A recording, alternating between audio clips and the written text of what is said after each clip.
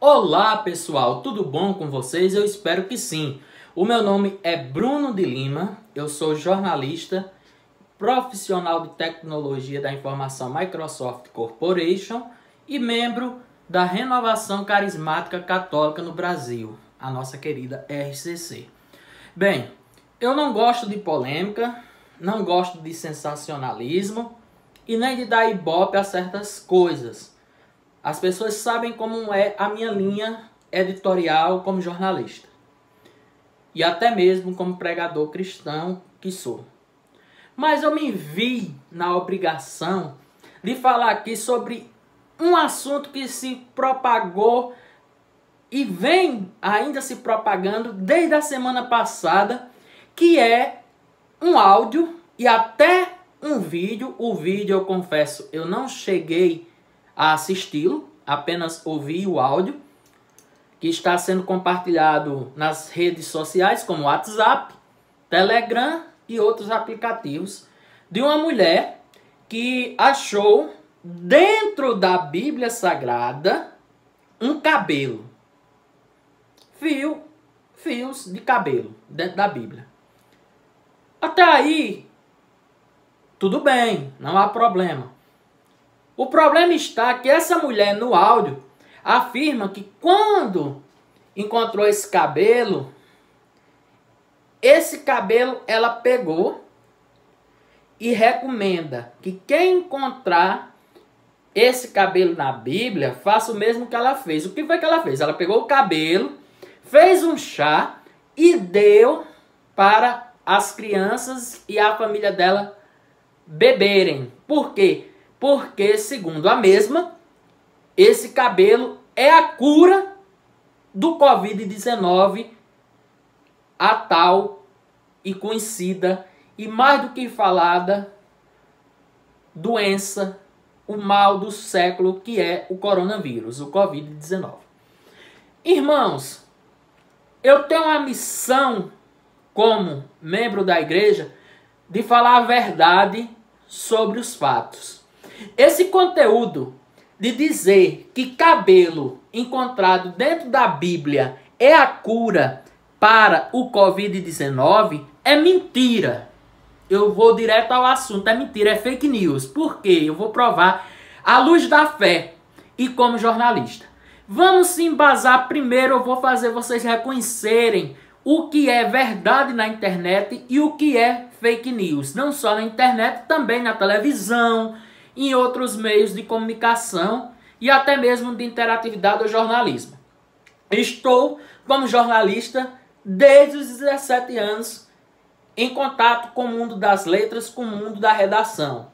Sabemos, como profissionais da imprensa, identificar facilmente uma mentira quando ela é propagada.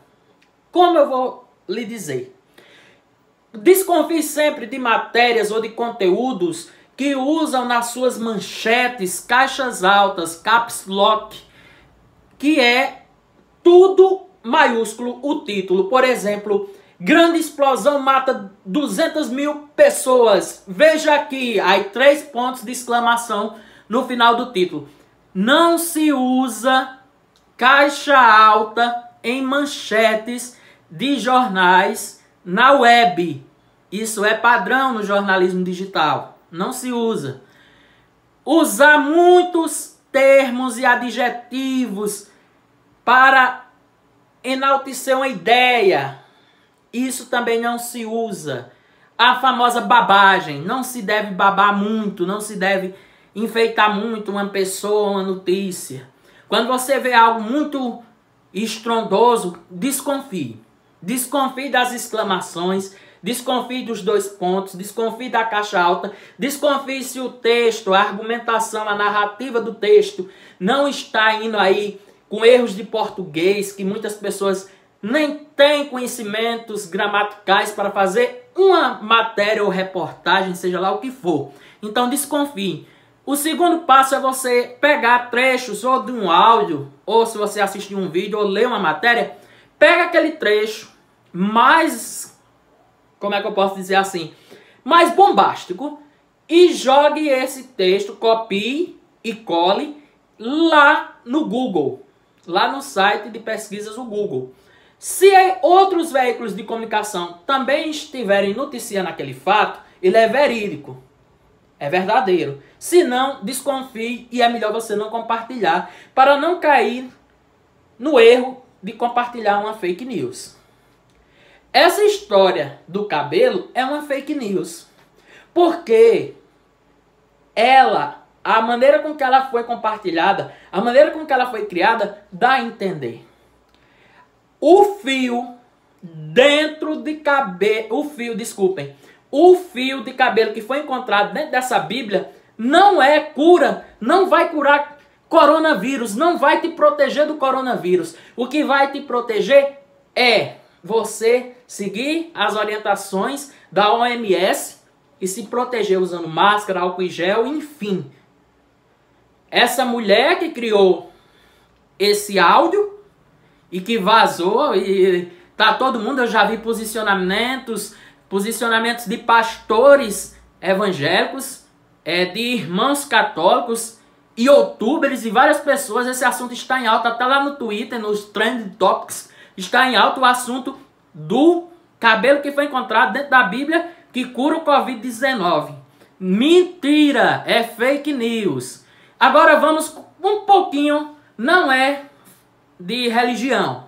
Vamos um pouquinho de cristianismo. A, isso que ela está fazendo, essa pessoa fez, é uma estratégia que Satanás usa dessas pessoas para fazer esse tipo de coisa. Seja por ingenuidade dela ou até mesmo por maldade. Eu creio que se foi por ingenuidade, o demônio se aproveitou daquela pessoa e através dela criou esse conteúdo para disseminar mentiras e fazer com que o cristão se afaste ainda mais de Deus nesse tempo de pandemia, nesse tempo de caos e de dor. Isso é o que eu acho. Porque, meus irmãos, o que a gente deve seguir como cristãos é a Bíblia. Olha, é isso aqui. É a palavra do Senhor que está aqui, é a palavra de nosso Senhor Jesus Cristo. E muitas pessoas estão se aproveitando do coronavírus para fazer sensacionalismo, se promoverem nas redes sociais, usando da Bíblia muitas vezes para condenar, usando de trechos aleatórios, interpretando a Bíblia à luz do seu pensamento, sem ter um estudo, sem ter um aprofundamento e sem ter inspiração do Espírito Santo para saber interpretar a Bíblia. A Bíblia não é objeto de condenação. A Bíblia, você não pode usar a Bíblia para condenar. E na Bíblia não fala do novo ao antigo e do antigo ao novo testamento. Não se fala, não tem relatos nenhum que um cabelo, um fio de cabelo curou alguém na história do cristianismo. Não existe isso. Só quem pode te curar, só quem pode te libertar e te salvar é Jesus Cristo. Só Jesus Cristo salva. Isso se chama, esse, essa história desse cabelo é misticismo, igual a, a, o pessoal coloca sal grosso dentro de casa para espantar a inveja, mal olhado. Coloca também aquela outra coisa que vocês encontram muito com facilidade, que é o dente de alho.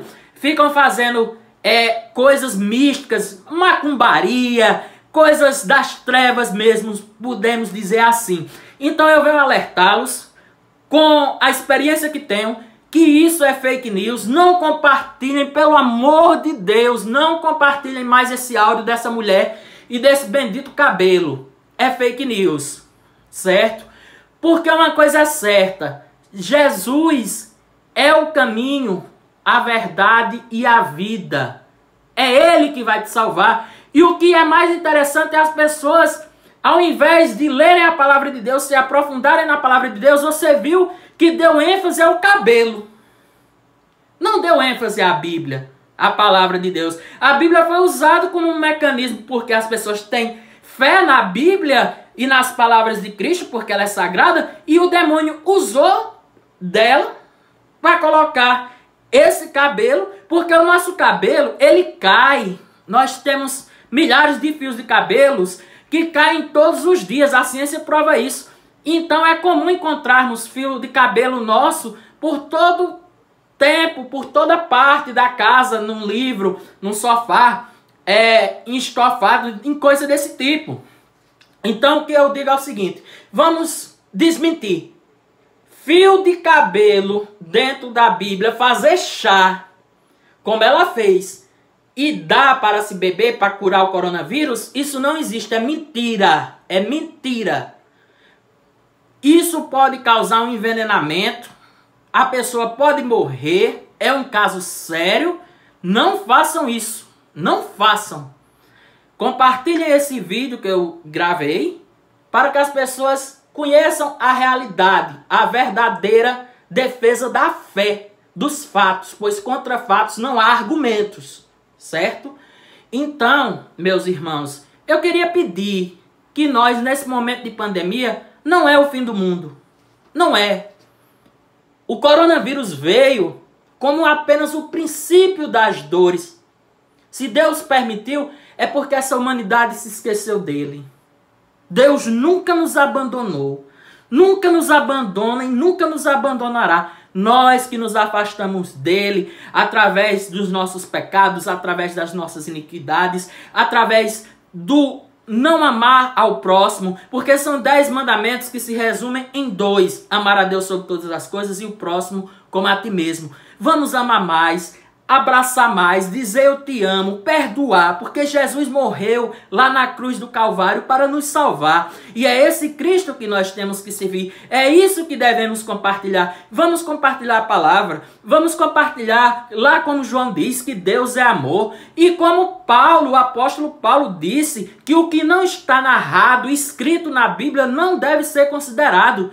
E isso não está, o que essa mulher diz nesse áudio, não existe em livro algum não é a cura para o Covid-19. A cura para o Covid-19 está aí, cientistas do mundo todo procurando achar uma vacina, uma cura.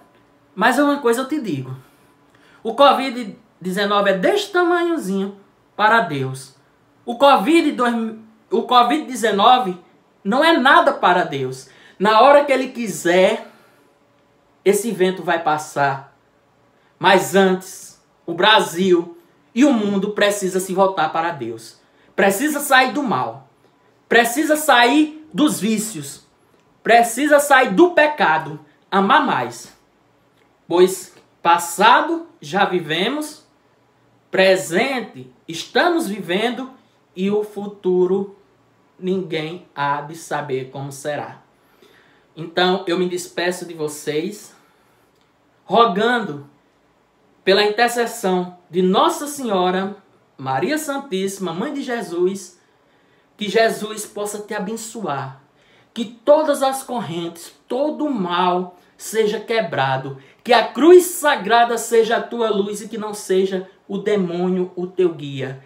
Que se retire Satanás da tua vida e que brilhe a luz de Cristo em vosso coração. Muito obrigado, irmãos. Fiquem todos com a paz de Jesus e o amor de Maria. Tchau, tchau!